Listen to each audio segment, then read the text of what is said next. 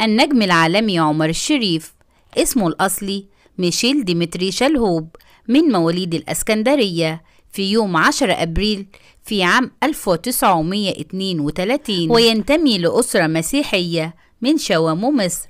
فعائلته لها جذور دمشقية جده لوالده هو الطبيب المشهور جورج شلهوب. وجد جده هو ديمتري شلهوب الذي اشترى خان الجمرك. وكان والد عمر الشريف يعمل تاجرا للأخشاب.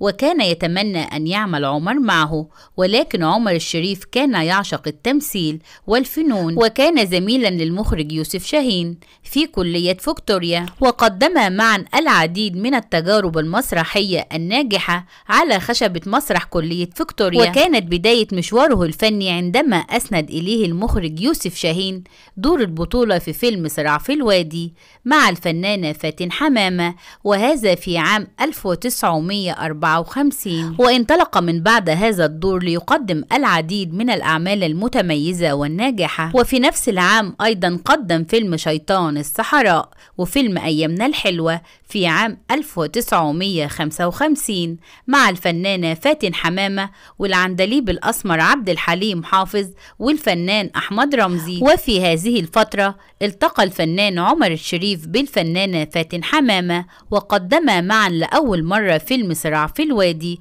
ونشأت بينهما قصة حب كبيرة. وقد غير عمر الشريف ديانته واعتنق الإسلام من أجل أن يتمكن من الزواج منها وأنجب منها ولد واحد وهو طارق عمر الشريف. وقدم عمر الشريف مع فاتن حمامة العديد من الأفلام الناجحة فقد كونا معا أنجح ثنائي سينمائي. ومن أهم أفلامهم فيلم صراع في الوادي وفيلم صراع في المينا وفيلم أيامنا الحلوة وفيلم نهر الحب. وفاتن حمامة كانت الحب الأول والأخير في حياة عمر الشريف وكانت الزوجة الأولى والأخيرة بالنسبة له. وقدما أيضا معا فيلم سيدة القصر وفيلم أرض السلام. أما فاتن حمامة فعمر الشريف هو الزوج الثاني بالنسبة لها فكانت متزوجة للمرة الأولى من المخرج عز الدين ذو الفقار. وأنجبت من المخرج عز الدين ذو الفقار ابنتها نادية ذو الفقار. واستمرت حياة عمر الشريف والفنانة فاتن حمامة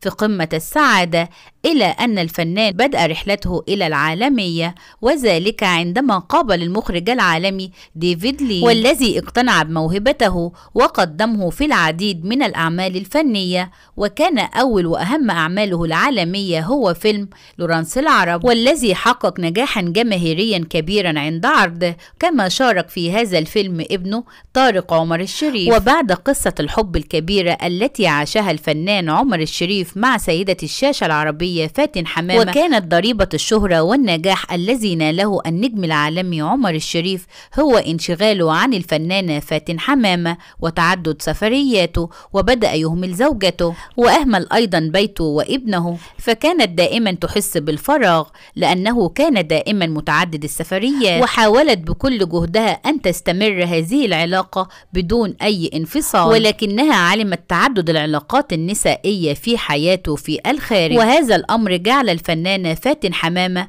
في قمة التعاسة والحزن مما دفعها إلى طلب الطلاق فورا. وبالفعل تم الانفصال بينهم رسميا في عام 1974 بعد قصة حب كبيرة وزواج وعشرة عمر طويلة دامت 19 عاما. كما اعترف الفنان عمر الشريف في أكثر من لقاء أنه لم يحب بعدها أبدا. كما ظهر عمر الشريف مع النجمة الإيطالية الجميلة صوفيا لورين في بطولة فيلم لورانس العرب وقد جمع بينهما التفاهم والصداقة وقد انتشرت الأقاويل عن وجود علاقة حب بينهما وأن الصداقة التي جمعت بين صوفيا وعمر الشريف كانت سببا لانفصال فاتن حمامة. وعندما سئل عمر الشريف عن علاقته بصوفيا لورين كان يقول أنها في غاية الأنوثة والرقي كما أنها امرأة ناضجة وكانت في غاية التواضع في العمل وكانت تستجيب لأوامر المخرج ولا تعترض أبدا. وبعد وفاة عمر الشريف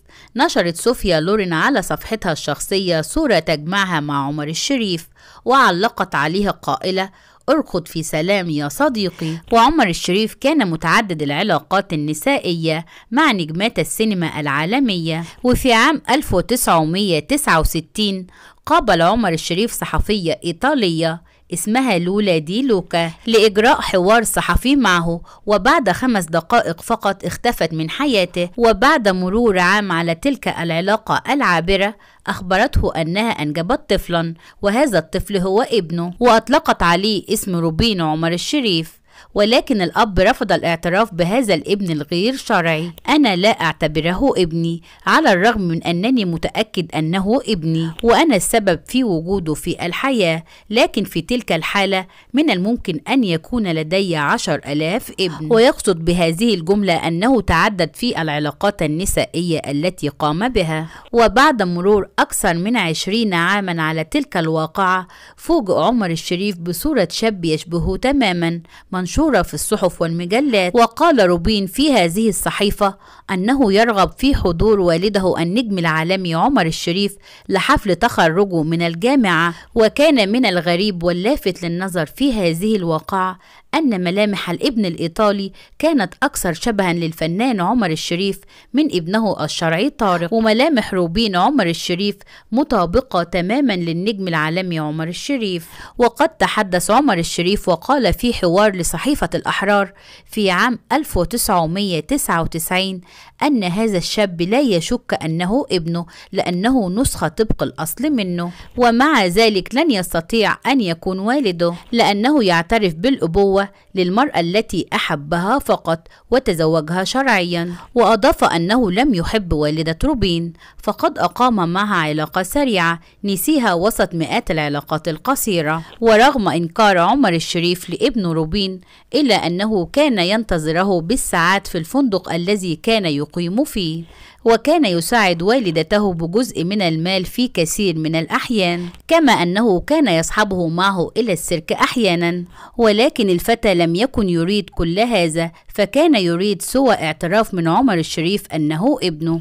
ولكن هذا الأمر كان يرفضه الأب تماما. وكان دائما يقول يجب أن تكون العلاقة شرعية حتى يكون الأبناء شرعيون. والفنان عمر الشريف قدم العديد من الأعمال العالمية والأعمال السينمائية المصرية ومن أشهر وأهم أعماله الفنية فيلم في بيتنا رجل عام 1961 وفيلم بداية ونهاية وفيلم لوعة الحب وفيلم حب الوحيد وإشاعة حب. وقد عانى عمر الشريف في الفترة الأخيرة من حياته من أمراض الشيخوخة ومنها مرض الزهايمر إلى أن توفى في يوم 10 يوليو عام 2015 عن عمر 83 عاما. رحم الله الفنان الكبير عمر الشريف وأسكنه فسيح جناته وشكرا جزيلا لحضراتكم لحسن المتابعة.